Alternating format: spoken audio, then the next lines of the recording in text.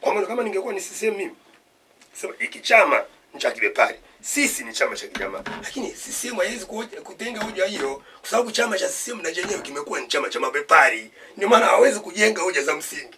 Chama cha CCM huko nyuma, historia yake ni chama cha kijamaa.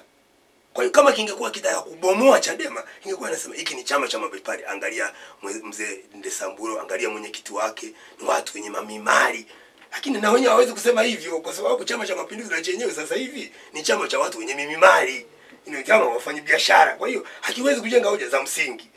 Vyama vina vinashindanisha sera, vinashindanisha itikadi kwa maana ya either huyu ni mjamaa au ni mbepari. Sema, lakini sasa cha mapinduzi kimeishiwa, hakina hoja hizo, kwa sababu chenyewe kimekuwa chama cha kibepari mm. kinyemera, si ndio?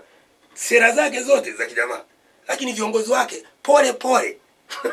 Wote ni mabepari. Sasa wachache waliobaki wanabaki kunungunika chini kwa chini, si ndio bana? Okay, you know, na waki wakichomoza ndio hao wana- wanakwenda kushindana, wasio na mali. Ndani ya CCM, wasio na mali wakienda kushindana. Ndio hawa tunawajua wengi tu huko Simiyu sijui wapi. Wanashindana wanatolewa. Hata na huyu aliyekuwa aliyechaguliwa juzi juzi sijui aliyeteuliwa kuwa katibu nani makamu wa rais makamu mwenyekiti wa chama hiki mzee Mangula. Hmm. sina yeye aliyenguliwa yaani huyu ameokolewa na mwenyekiti tu you know, lakini kwa sababu hana mahali ni mkulima tu wa kawaida si ndio na mtu yoyote ndani ya sehemu ambaye hana mahali hawezi kupita mnanielewa bwana? Okay, ndio akina Deo Fili Kunjo mbejuzi hapa ameshindwa kuingia kwenye. Kwa hiyo kwa sababu CCM haiwezi kujenga hoja za msingi za kuhusiana na itikadi za kusema sisi ni chama cha kijamaa, Chadema ni chama cha kibepari. Hawezi kujenga hoja hiyo kwa sababu na wenyewe sasa hivi ni chama cha kibepari. Kwa hiyo wanatafuta hoja za kijinga jinga hizi za kipuuzi hizi, si ndio bana? Okay, za kusema oh Dr. Slaa ana kadi. Sasa kama ana kadi mwenyewe kwa nini hamjamfukuza? Mtu ambaye anapanda mpaka anakuwa mwenye nani katibu mkuu, anapanda mpaka anagombea kiti cha urais kwa tiketi ya chama kingine. Wewe unatueleza leo ndio kwamba ni mwanachama. Leo hii, yani hiyo inatusaidia nini? Yaani kwani hiyo chama chenu hakina sera inayosema mtu yoyote atakaye atakaye ama kwenda chama kingine unaona bana akagombea mpaka akawa mbunge akawa hata mgombea wa kiti cha urais akawa katibu mkuu. Na hata kama amelipia kadi tumeshamfukuza bila eh, mara moja tu. Yani wala haina hahitaji ku- kungojea ku- ku- kikao si ndio Ina inamaanisha sisemu haina sera kama hiyo eh? kumbe hii ni chama cha mamluki eh? kumbe yani mtu anaweza akawa ndani ni mwanachama wa CCM alafu ni mwanachama wa vyama vingine. Hiki ni chama cha mamluki basi si ndio bana wengine wanasema mtu anayeweza akasikiliza hoja hizo za CCM ana ina, ina, ina, mtu ambaye yeye mwenyewe kama anavyosema Mwalimu Nyerere ni mjinga. Yaani yeye mwenyewe haja- hajui kwamba hizi ni hoja za propaganda za kijinga. Kwa sababu hoja za msingi zinazungumza juu ya itikadi, mambo ya kisera, mambo ya kusema kwamba yani Chadema wanasema kwamba tu, tuende tuelekee hivi, kwa maana Chadema wanasema kwamba yani elimu hiyo ya kulipia wasio wasio na uwezo wa- wafilie mbali. Sisi CCM watu chama cha kimama tunasema elimu kwa wote tunailipia, lakini CCM inaweza kusema hivyo. CCM ya leo haiwezi. Kwa hiyo mzoga ndio maana inaibua hizi hoja za kipuzi, watu wabishani juu ya mambo ya kitoto, si ndio maana? Okay. Mm. Lakini hii inatuelekeza kwenye hiyo swala jingine la wale watu wanaozungumza juu kuungana vyama. Hoja sio kuungana vyama hata na Marekani vyako viko vingi. Mimi nimekaa Uingereza on and off karibu miaka kumi wakati nasoma, yaani vyama vya Uingereza viko vingi, sio hoja. Wananchi hawababaishwi na hiyo. Vyama vingine vya watu wanne, vyama wengine vya watu ishirini, vya haina shida, kwa sababu uwezi uwezi, ukishasema vyama vingi, wewe waruhusu watu waanzishe vyama vingi. Marekani kuna chama cha komunisti, kuna chama cha ecology, kuna chama sijui cha wa, wa, wa, wa, kutetea mazingira, kuna- vyama vingi tu lakini vyama vya msingi viko viwili. Kwa hiyo hata na Tanzania mfano mzuri ulikuwa Igunga. Igunga mwaka elfu mbili na na kumi Kumi. Chadema haikuweka mgombea Sawa. Lakini waliporudia uchaguzi elfu mbili na kumi na moja wakaweka mgombea. wakaweka mgombea karibu ishinde, na juzi hata na matokeo ya kushinda kwa CCM yalibatilishwa.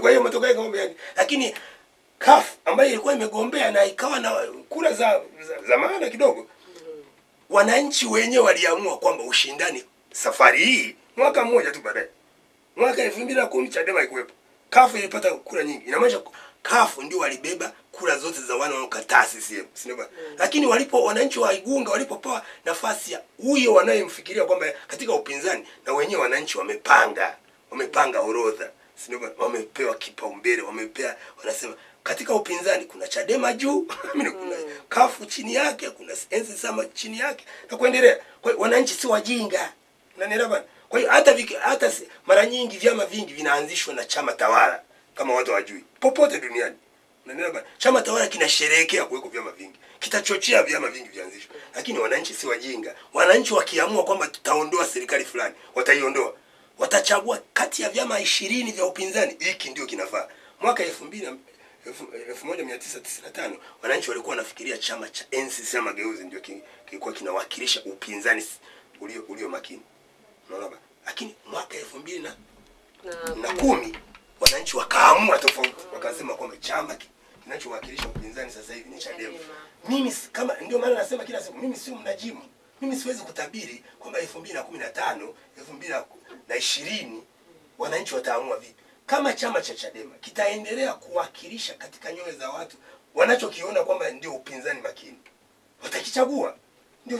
Kwa hiyo hii- hii siwaangaishe watu mfano wa Kenya sio mfano mzuri, kwa sababu Kenya katiba yake inaruhusu mbaki kila mtu na chama chake, alafu mnaungana kwa, ma, kwa minajili ya kupigania uchaguzi tu, lakini kila mtu anabaki na chama chake.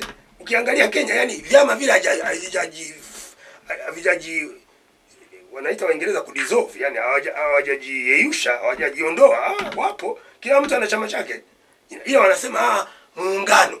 Sasa katiba ya, ya, ya Kenya inaruhusu miungano? Kwa hiyo lakini eh, katiba ya Tanzania hairuhusu hiyo. Kwa hiyo mimi ninachosema ni kwamba katika mapambano ya Tanzania tutumie katiba iliyopo, tusichanganyane.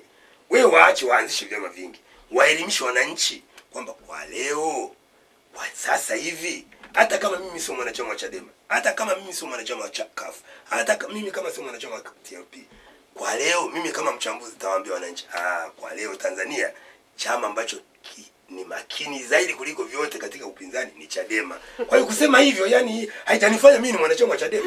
Kama Chadema kikitetereka, kikijichanganya, kikajibadilisha, kika, kika, kikafanya kama enzi saba hizo, si kilijibomoa chenyewe Si kilibomoka, wananchi wakikiona wakakiacha. Hata na Chadema kikifanya hivyo hivyo, wananchi kama wanataka kuondoa CCM wanatatafuta chama kingine. Kwa hiyo hiyo sio tatizo. Mimi si wananchi wasiwe na wasiwasi kwamba kwa sasa hivi wewe kama mtu binadamu, tumia busara yako. Wewe jiulize katika mtaa wako. Mimi sasa hivi nimetoka Bukoba, nimekaa kule wiki mbili, Sio bwana, okay. yani wananchi wa kawaida wanajua, yani Bukoba pale watu walikuwa wanachagua kafu huyu huyu wa Katari anaitwa nani ile? Na nafikiri ndio Katari ya Wilson wa Katari, sio bwana, okay. Alikuwa ni yuko kiongozi wa kafu, sio bwana, okay. Walikuwa wanamchagua kama kama kiongozi wa upinzani. Sikiliza, anaitwa Wilson wa Katari. Ni sio dhana ile ya, ya kafu kwamba hizi ni chama cha Waislamu. Waislamu. Sio kweli. Unanielewa? Na kweli Bukoba watu wenye pesa pesa wengi, you know, wana wanatoka you know Waislamu. Si? Ndio biashara nyingi Tanzania, watu wanaofanya biashara ya mjini, wengi wao wana ushirikiano ushirikiano fulani na na watu you know na nini ambao wengi wao ni Waislamu. Kwa hiyo sio ajabu hiyo. Mimi ni shangazi. unania. Lakini hawa hawa mjini sasa hivi hata na mimi ambaye wala sio mwanachama wa Chadema nikipita sokoni pale Bukoba nasema kamanda, you know, kwa sababu wanafikiri eti mtu yoyote anayepinga anao anaokosoa serikali yoyote madarakani ni Chadema. Lakini kabla walikuwa wanafikiri mikafu. kwa hiyo Watanzania hawa ni, watu wenye busara nyingi mno, huwezi kuamini. Sio tatizo. Watu wanaohangaika kwamba yani vyama viungane, ah ah. Vyama haviwezi kuungana yani kinadharia tu. Unanielewa bana? Okay, yani kwa sababu huwezi kuungana na mtu ambaye yani yani hu- hu- hujajua mnaungana kuhusu nini Sinoma, okay kwa sababu hii vyama vya Kenya hawaungani kwa kuvibomoa vyama vyao na kuungana kitu kitu kimoja hapana kila mtu anabaki na chama chake ndio maana unakuta Ruto ambaye huko zamani alikuwa na pamoja na eh, Raila Odinga leo amejihamishia amekwenda. Uhuru Kenyatta kwa hiyo Mm. kwa sababu kakundi kake ni kakundi kake Unaelewa? kwa hiyo ndio nasema Watanzania ushauri wangu yani wa, wa heshima na taadhima msihangaike na mambo ya kwamba vyama viko vingi sijui vishauri ah ah. eh vya vyama viendelee kushauriana lakini wewe kama mtanzania wewe kama mpiga kura wewe angalia tumia busara yako utaona tu vyama yani utasema sasa hivi chama kinaweza walau walau ni Chadema. Kama